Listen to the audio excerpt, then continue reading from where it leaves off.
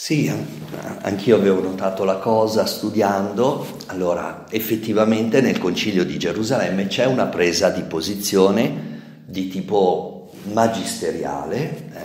Eh? Eh, lì, eh, se vi ricordate, c'è la prima anima diretta da Giacomo, quindi eh, la, l'anima più giudeo-cristiana, e dall'altra parte c'è Paolo, Barnaba, che portano la loro esperienza di tanti convertiti dal cristianesimo. L'ago della bilancia è Cefa, che ricorda ciò che era avvenuto a casa di Cornelio.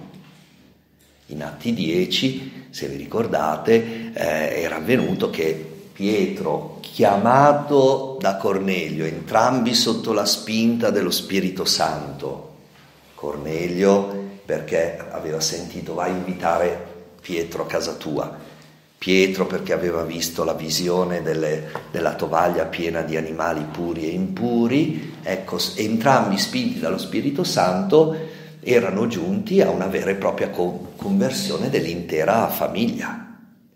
Ma eh, nel momento in cui Pietro, anche lì, deve dire la vita di Gesù in poche parole, si accorge che avviene un segno del cielo, cioè questi pagani, Centurione Cornelio e la sua famiglia iniziano a pregare in lingue. Da qui eh, il ragionamento di Pietro, come faccio a non dare il battesimo a costoro se lo Spirito Santo è già sceso su di loro, sta già agendo in loro? Dà il battesimo e questo aveva provocato non una gioia all'interno della Chiesa, ma subito delle reazioni, reazioni di questa parte di giudeo-cristiani. Tu, Pietro, sei andato a casa e hai mangiato, ecco la, la tovaglia, no?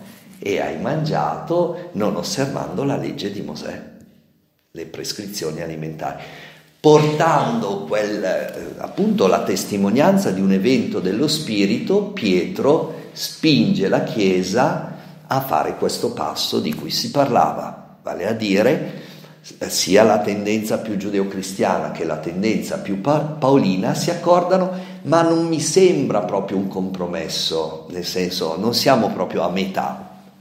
No, vince la prospettiva di Paolo, o meglio vince, perché questo è ragionare proprio alla maniera umana. Lo Spirito Santo e noi, così inizia il decreto conciliare che viene mandato in giro nelle comunità cristiane, lo Spirito Santo e noi abbiamo deciso che Insomma, non si debba importunare i pagani che vogliono diventare cristiani con tutta l'osservanza della legge. Alcune prescrizioni particolari, anche di una certa gravità, però il resto, se non è la loro tradizione culturale e religiosa, continuino a vivere secondo i loro costumi, basta che vivano come Gesù all'insegna della carità.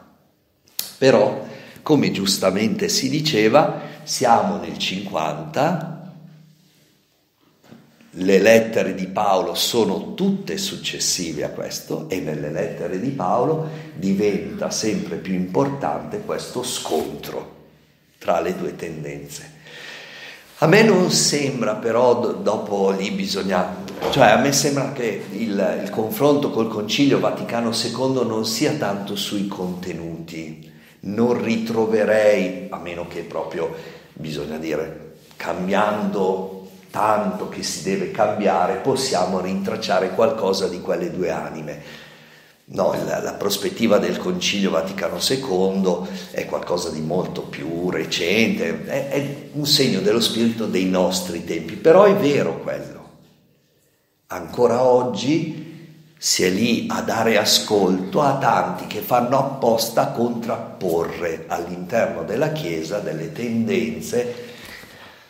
Allora, è vero che nel Concilio Vaticano II c'era una tendenza che, ma in nome del Vangelo io non me la sento di dare un'interpretazione politica o semplicemente sociologica, in nome del Vangelo dicevano non possiamo abbandonare la tradizione vivente della Chiesa e dall'altra parte c'era l'anima di Giovanni XXIII e di tutto tanti teologi e vescovi che dicevano ma la Chiesa per annunciare Gesù nell'oggi deve aggiornarsi, questa era la grande categoria, no? Allora, io vedo un'analogia tra i due, non tanto tra il Concilio di Gerusalemme e il Concilio Vaticano II, non tanto dal punto di vista dei contenuti, che mi sembrano davvero molto diversi, ma dal punto di vista, come dire, che nella Chiesa c'è una santità di fondo che è dovuta allo Spirito Santo. E poi ci sono tante resistenze peccaminose che sono dovute a noi. Cioè, eh, questo che è avvenuto nella Chiesa delle origini eh, dà proprio l'impressione che dobbiamo superare un'idealizzazione della comunità cristiana che era un cuor solo, un'anima sola. Sì, c'era questa tensione, ma poi c'era anche Anania e Safira e poi c'erano questi scontri. Questi, questo Paolo che non è nato santo, che urla cani a, ad altri missionari. Immaginate un vescovo che urla cani a dei missionari oggi, insomma, qualcosa di eh, davvero scandaloso, eppure è avvenuto questo. Allora, nella Chiesa c'è questo Spirito Santo che spinge, spinge verso dove? Non verso un progresso idealizzato anche lì, ma spinge a Gesù. Spinge non a tornare indietro, ma spinge al centro. È Gesù centro della storia, no? Ecco, lo Spirito Santo fa questo.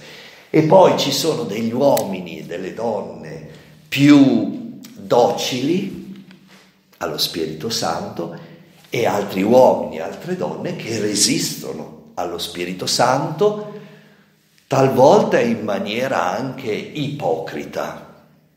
Anania e Saffira, questa è la grande accusa che è stata rivolta a quei due. Erano degli ipocriti altre volte addirittura in nome del Vangelo. È perché il tentatore ci sa fare. In nome del Vangelo si spacca la Chiesa. Però eh, prenderne coscienza ci aiuta a dire cerchiamo di stare dalla parte dello Spirito Santo. Ecco, cioè prendere consapevolezza in maniera realistica ci porta a distinguere, ancora una volta, il peccato e bisogna dire nella Chiesa c'è questo peccato, ci sono queste brutture, cioè senza peli sulla lingua e d'altra parte però la compassione di Gesù nei confronti di coloro che pur credendo come noi sbandano. E allora lì bisogna innescare delle dinamiche di riconciliazione, di purificazione delicatissime, perché eh, ma me ne sono accorto proprio nella mia esperienza personale, tante cose si fanno in nome del Vangelo e quando si arriva lì è, è, è strano, no? tutte e due inneggiano al Vangelo e sono su posizioni contrarie. Ecco, ma è ciò che avveniva a quei tempi. I, i missionari giudaizzanti allora avevano tutto un aspetto che vedremo di, di dire, contrasto a Paolo usando delle armi che Paolo definisce carnali. Cioè, in ultima istanza, mettevano in giro delle voci malevole contro quest'uomo che non erano per nulla vere. Questo è sbagliato, profondamente sbagliato, questo è peccato. Ma d'altra parte bisogna riconoscere in loro che quell'atteggiamento lì della fedeltà alla tradizione giudaica poteva anche obnubilare il loro discernimento. Cioè loro combattevano per rimanere fedeli a Dio. È paradossale questo, però è quello che è avvenuto. E quindi lì si tratta ogni volta di distinguere, no? Di far discernimento. Questo è peccato e bisogna superarlo, bisogna riconciliarsi, bisogna eh, perdonare. Altre cose bisogna verificare come è possibile prendere, non so, degli aspetti positivi della tradizione giudaica e mantenerli nel cristianesimo nonostante questo traghettamento del cristianesimo in un'altra cultura che non è quella ebraica. Ci sono dei riti bellissimi all'interno del giudaismo, ad esempio, che potrebbero essere traghettati nel cristianesimo. Dei riti familiari del, eh, che noi eh, non viviamo e che forse potremmo prendere dai nostri fratelli maggiori. Però appunto un conto è questo, un conto è il vivere facendo leva sul proprio orgoglio. Quello è da superare.